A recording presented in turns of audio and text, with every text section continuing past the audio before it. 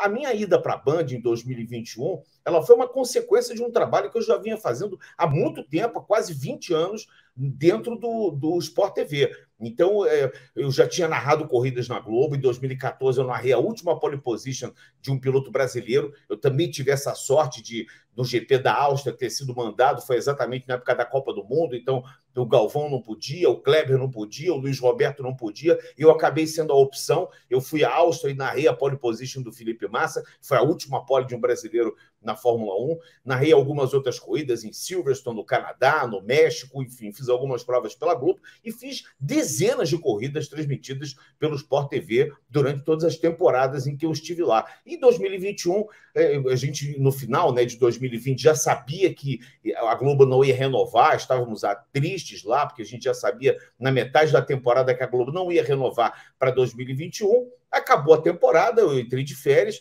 e em janeiro eu recebi um telefonema do Denis Gavazzi, uma ligação conjunta com o Rodolfo Schneider, e me propondo, a, a Bandeirantes tinha comprado, o Grupo Bandeirantes tinha comprado o direito de fazer a transmissão da Fórmula 1, e eles perguntaram se eu tinha é, interesse em fazer isso. Foi uma decisão difícil, depois de passar 29 anos numa emissora, mudar de cidade. Eu, eu, eu, morava, eu moro ainda, eu tenho minha casa no Rio, no Recreio dos Bandeirantes, muito pertinho da Globo, muito, muito rápido eu chegava na emissora.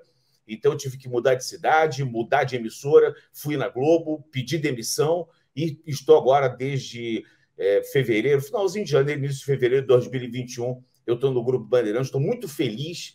E, e, agora, como você fez, aí eu, eu fiz esse preâmbulo todo para responder a tua pergunta. A minha voz acabou sendo a voz agora da Fórmula 1. Depois de tantos e tantos anos a Fórmula 1 eh, saindo do Grupo Globo e vindo para a Band, eu passo a ser agora a voz, desde 2021, a voz da Fórmula 1 e estou muito feliz, estou muito satisfeito em poder trabalhar num veículo de comunicação como é o Grupo Bandeirantes, que está se renovando, que está crescendo a cada dia. A Bandeirantes vai encorpando a programação dela, vai trazendo talentos, abrindo portas em todas as direções, tanto no entretenimento como no jornalismo e no esporte, que é o tripé da emissora.